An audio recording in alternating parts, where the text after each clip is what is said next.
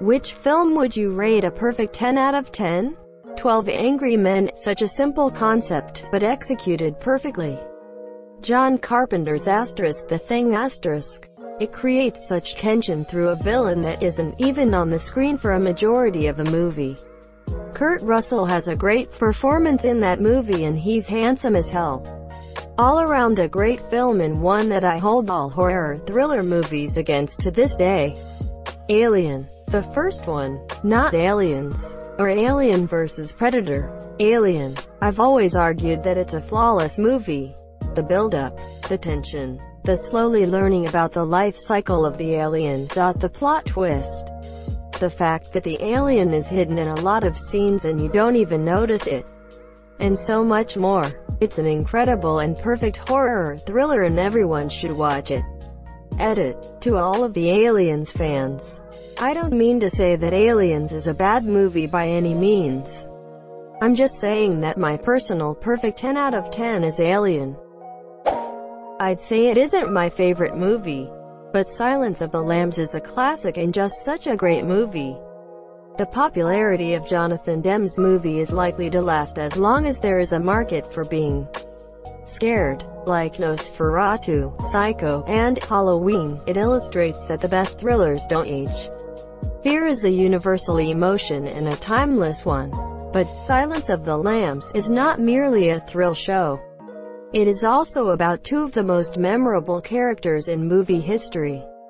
Clarice Starling and Hannibal Lecter and their strange, strained relationship. People will say we're in love, Lecter cackles. Quote. Roger Ebert. Spirited Away. Princess Bride has got it all, and is completely suitable for all ages. My favorite fun fact about this is that Andre the Giant reportedly made all his friends watch it, because he was so proud of his role in the film Monsieur. He was right to be proud. The Incredibles. It successfully accomplished everything it set out to do. The Road to El Dorado perfect comedy, action, romance, and music. Shawshank Redemption. Monty Python and the Holy Grail. Brother Maynard bring out the holy hand grenade. The Truman Show. That movie fucked me up when I was young. Thought I was on a TV show for years. Glad the producers found a way to make you forget that idea. Monty Python's Life of Brian. It's a powerful statement on human nature while being timelessly funny and also contains possibly the best dick joke ever committed to film Monsieur. If you want to join the People's Front of Judea, you have to really hate the Romans. I do. Quote. Oh, yeah, how much? Quote. Asterisk a lot. Asterisk. Quote dot dot dot dot dot dot. Alright, you're in. I'm not Jewish, I'm a Roman. A Roman? No no, Roman. Your father was a Roman?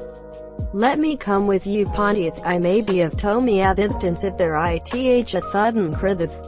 Goodfellas. Now go home and get your fucking shine box.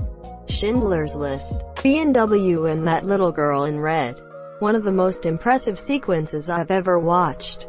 Overall a textbook quality movies that needs to be shown to every kid. Well maybe junior or high school. Aliens. Sigourney Weaver gives a fantastic performance from beginning to end. The movie has so many one-liners that I repeat to this day with my dad. It's a tradition that we watch it at least once a year. Wall-E, my childhood favorite. This makes me feel old. Return of the King. Terminator 2 is an 11 tenths. Groundhog Day. Groundhog Day. Groundhog Day. Groundhog Day. Jurassic Park though. The Godfather. I can't think of one bad thing in that movie apart from it being inappropriate for kids. Saving Private Ryan. The Prestige. Every time I watch it I find something new. The story is great, and the moral concepts they touch on are explained very well. And leave the last bit of, is this right or wrong? Up to the audience. Yeah, it's my favorite Chris Nolan movie. And also the cast are all on point. Particularly the women, Rebecca Hall and Scarlett. They both have such tough roles but manage to execute them perfectly. The Seven Samurai, The Good, The Bad and The Ugly. The film's score alone was a masterpiece. The Matrix. The one I keep coming back to lately is The Big Short. A film critic friend of mine hates narration, fourth wall breaks, and celebrity stunt casting cameos in films. And I tend to agree with him. But The Big Short has all those. And it still works. Plus it's a based on a true story film that actually hews pretty close to the true story and in at least one fourth wall break admits where it veers off reality. Steve Carell is fucking brilliant in it. Christian Bale is amazing. It makes me remember how good Anthony Bourdain was. And using Dr. Richard Thaler and Selena Gomez to explain a CDO. I mean, come on. There's nothing wrong with this movie. Nothing. Look at his eyes. I'll give you a hint. His name is Yang. He won a national math competition in China. He doesn't even speak English. Yeah, I'm sure of the math. Four lions. Faisal. I used different voices every time I went in. Barry. What voices? Quote. Faisal. One of them is my own voice. And I got one like this as well. Can I have 12 bottles of bleach please? That's a woman's voice. Barry. You've got a beard. Faisal. I covered it. Barry. How? Show me how you covered it. Faisal. Holds hand in front of 5% of beard. Best comedy scene of anything ever. What other voices? Ira their terrorists Faisal. You're gonna get us nicked. Edit fixed a typo. Definitely Back to the Future. The Lord of the Rings. The Fellowship of the Ring. It has everything a fantasy movie should have. Changed my mind. Asterisk Spider-Verse. Asterisk. There was nothing I didn't love. Everything felt on cue and on time. The art style was amazing. And Miles is just a precious dork. 1 million out of 10. Best movie. Hot Fuzz. Why is his hat so far down over his face? Quote. He's fuck ugly. Or he doesn't want me to see his face. Dot cause he's fuck ugly. Ishalode UF junk bam tick tick tick tick tick. The Emperor's New Groove. Pull the lever Kronk. Wrong L L E E V V D E E R R dot dot dot. Why do we even have that lever? Oddly enough, that's the single most quoted line from any movie in our house. And we haven't watched it in at least a year.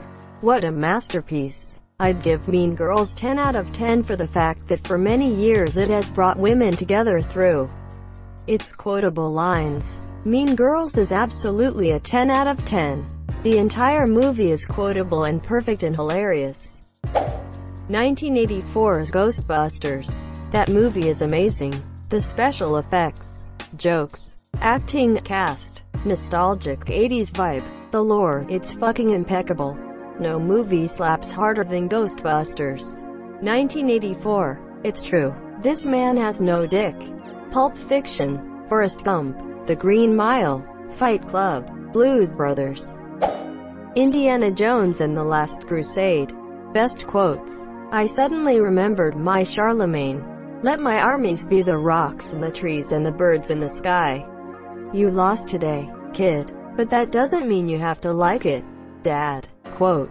The chemistry between Harrison Ford and Sean Connery was one of the best things I have ever seen on the big screen. Fargo. The original Willy Wonka and the Chocolate Factory. Even all these years later. It is still magical to me and the songs are amazing. Galaxy Quest. Arrival. I watched the movie countless times. The cinematography and soundtrack makes it such a soothing and meditative experience. Even if the story would have been complete dog shit, I would watch that movie over and over. Since the story and the performances are amazing though, this makes the movie a perfect 10. The Fifth Element. Your Name, Kimi no Na wa. Blade Runner.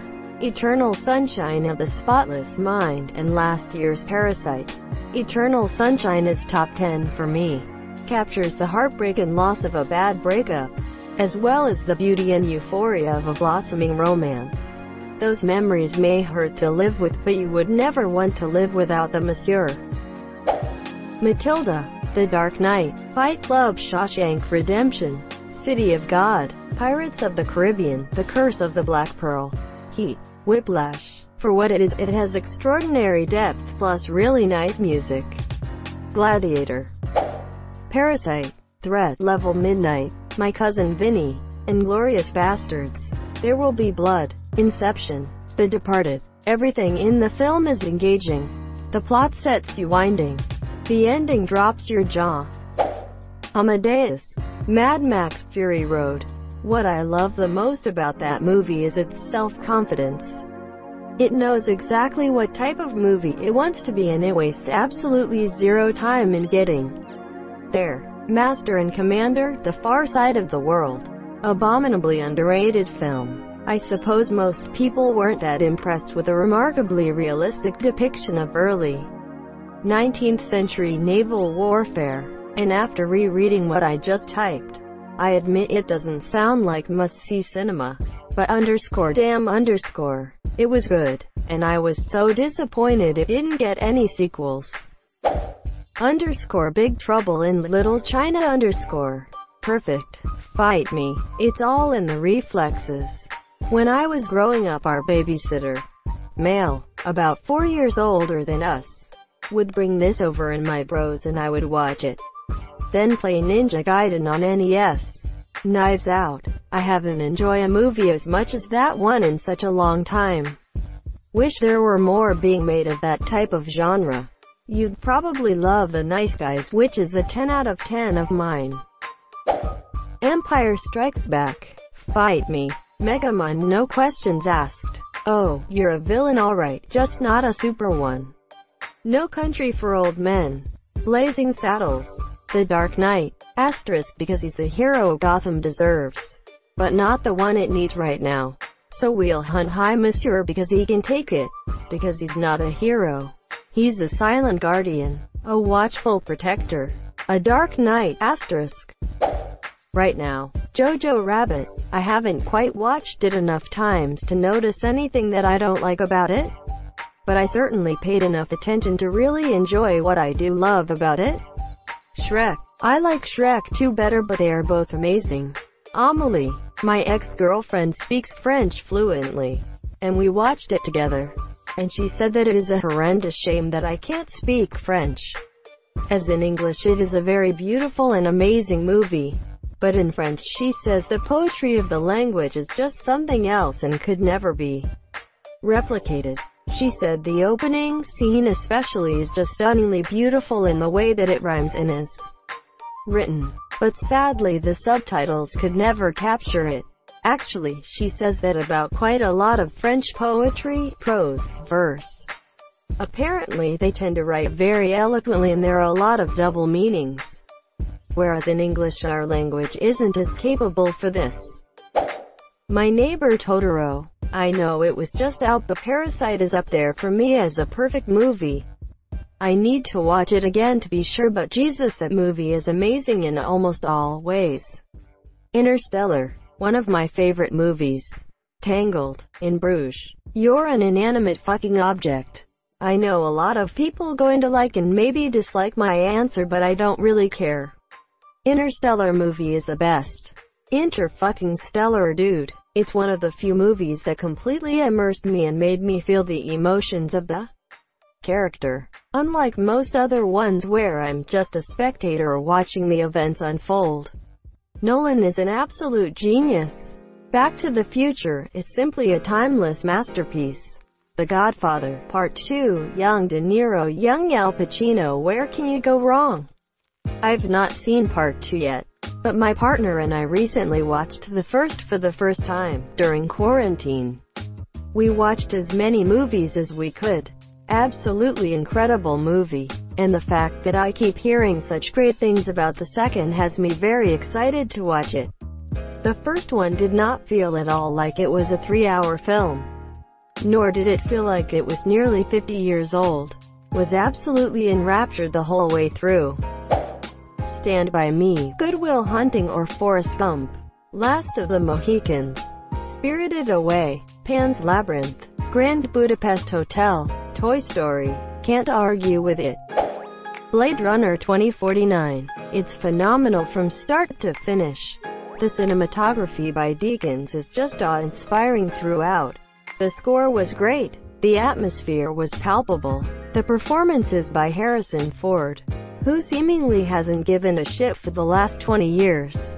Ryan Gosling and Ana de Armas were incredible, and even smaller roles like Robin Wright, Dave Bautista, and Jared Leto were extremely satisfying. It might honestly be my favorite movie ever. I've rewatched it a dozen times at least and it's equally satisfying on every watch. I'm incredibly hyped to see Villeneuve's Dune. Thank you so much for watching and have a good day.